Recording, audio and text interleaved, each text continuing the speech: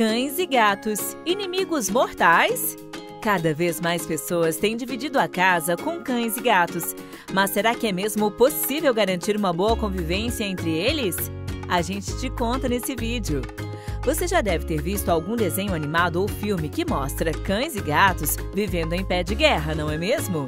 Apesar disso, cada vez mais, famílias têm cães e gatos como pets, convivendo juntos e em harmonia. Como isso é possível? Até a ciência já se interessou pelo assunto, e vários estudos demonstraram que a convivência entre cães e gatos na mesma casa é, na imensa maioria dos casos, pacífica.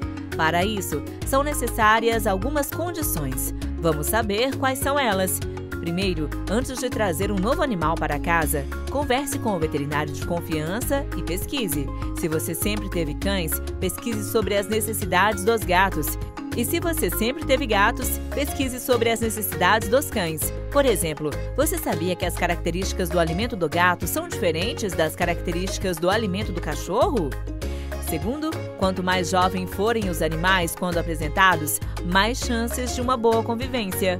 Terceiro, se o gato tiver acesso a locais fora do alcance do cão, em que ele possa dormir tranquilo e não ser incomodado, a possibilidade de conflito será menor.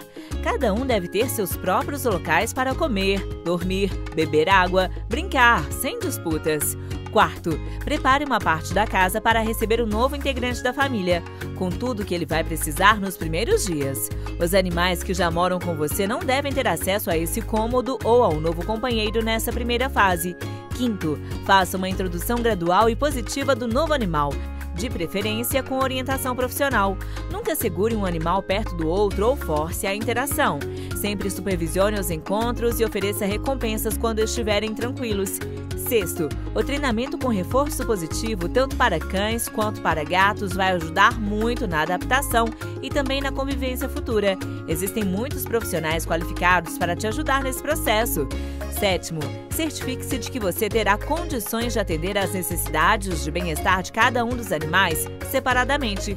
Oitavo, lembre-se de que, se você tem um cão ou gato com problemas comportamentais, adotar um novo pet não vai resolver esses problemas. É importante buscar ajuda para resolver essas questões antes de aumentar a família. Com esses cuidados, cães e gatos podem sim conviver muito bem, multiplicando a alegria de quem ama os pets.